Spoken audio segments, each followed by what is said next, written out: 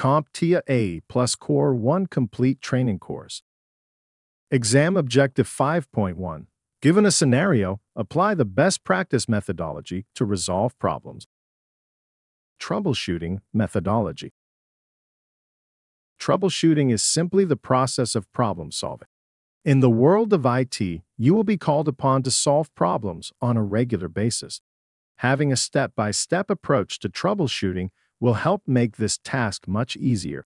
In Exam Objective 5.1, CompTIA has outlined a troubleshooting process to follow.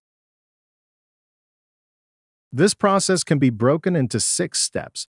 1. Identify the problem. 2. Establish a theory of probable cause. 3. Test the theory to determine the cause. 4. Establish a plan of action to resolve the problem. 5. Verify full system functionality. 6. Document the findings, actions, and outcomes. The first step in CompTIA's troubleshooting process is to identify the problem. To do this, we must turn to the left side of our brains and think logically. Fortunately, we have a few guidelines that can help keep us on track during this stage of troubleshooting. The main objective at this stage in the troubleshooting process is to gather information. Information can be gathered in many ways. You can try duplicating the problem. Observing the issue as it occurs can give great insight. You can question the users. If a user is experiencing the problem, they will have first-hand knowledge of the issue. Also, don't discount that the issue could be user error. Computing systems and their programs, at times, can be complex, so misuse is always a possibility. Identifying the symptoms will help narrow down possible causes for an issue. Symptoms could include error messages, logs, or physical conditions. Many times we can use our sense of smell, sight, touch, or hearing as diagnostic tools. I would probably avoid taste, though.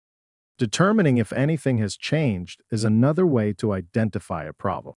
Commonly, issues arise after changes or updates have taken place. These changes could be environmental or infrastructure based. Finally, if data loss is a possibility, perform a backup before making any changes. Step 2 in CompTIA's troubleshooting process is to establish a theory of probable cause. This step is closely related to step 3, which is to test the theory to determine the cause. These two steps may also be repeated as many times as necessary, as sometimes our initial theory is wrong. If at first you don't succeed, try again. If you have completed step 1, identify the problem. Then you hopefully have gathered sufficient information about an issue to proceed to step 2, establish a theory of probable cause. Here you will begin to think about possible causes to an issue with the hopes of narrowing down the list of suspects. When first getting going, start with theories that are easy to test and be sure to question the obvious. Assumptions at this point can be catastrophic. Let's say we receive a complaint that a user's laptop is not working. An example of questioning the obvious would be to check if it is even charged.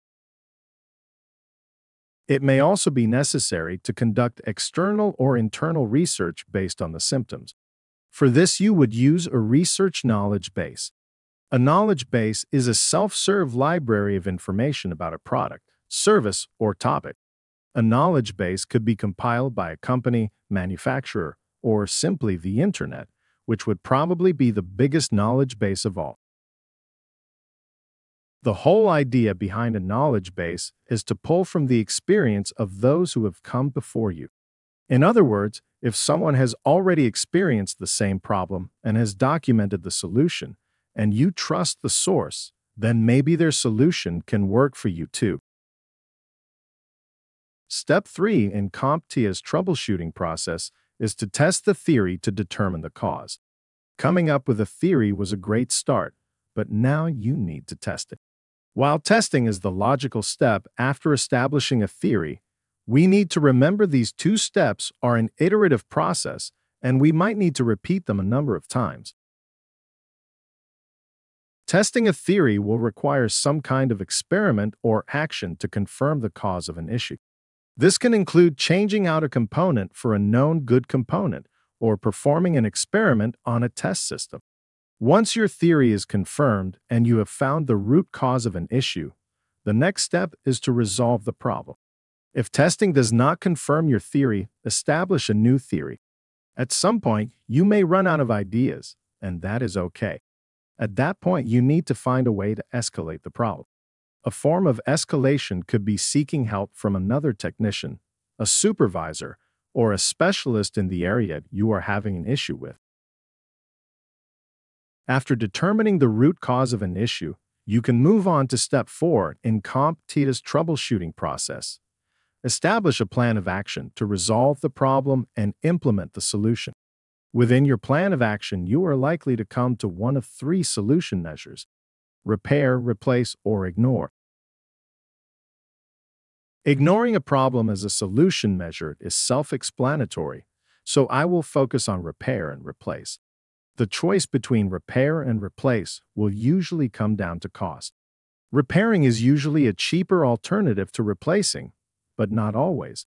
When establishing your plan, start by deciding if you will repair, replace, or ignore the problem. The rest of your plan will fall in line after that. Another item to be aware of when establishing a plan is to identify the potential side effects of your plan. Many times in IT, systems are interconnected. A change to one system can often have unintended side effects on another system. You may not be able to prevent every side effect, but proper planning can at least keep these to a minimum. Once you have established a plan of action, it is time to implement your solution. The biggest concern with implementing a solution is minimizing disruptions and obtaining authorization. If you did a thorough job while establishing your plan, it will include detailed steps, required resources, and most importantly, a rollback or backout plan should things go wrong. Also, you should have spent some time reviewing any related vendor documentation for guidance. Having these items in place will help the implementation process run smoother. Your job at this point is to cause as little disruption to the systems in place and their users as possible. In larger environments, it may even be necessary to seek authorization for a change. This authorization might come from a supervisor or a change advisory board. Whatever steps you take, just be sure your actions always align with the corporate policies and procedures for the implementation of changes. After the implementation of a solution, it is time for step 5 of CompTIA's troubleshooting process, which is to verify full system functionality. While you may have only made a change to one system, in IT, it is common that multiple systems will be interconnected. Thus, in addition to verifying that you resolved the initial issue, you will need to verify the system as a whole continues to function properly. Now that you have solved the problem, we want to make sure it does not happen again. Preventing the recurrence of an issue is where you can truly set yourself apart from other technicians. Though not always in your control, the recurrence of some issues can be avoided with user education by changing a process or by using an alternate software or equipment provider. The final and last step in CompTIA's troubleshooting process is to document your findings. Again, the last step is to document everything. Document the symptoms, document your actions, document your outcomes, and document any lessons learned. That way, when a problem is resolved, there is a complete record of everything that transpired during the entire troubleshooting process. This can be extremely helpful when providing any technical support in the future. Do you remember when we discussed the research knowledge base a few moments ago? Well, where do you think a company's knowledge base comes from? Knowledge bases evolve and grow over time as issues are experienced. So do your best when documenting any issues you resolve, as people other than you may come to rely on it in the future.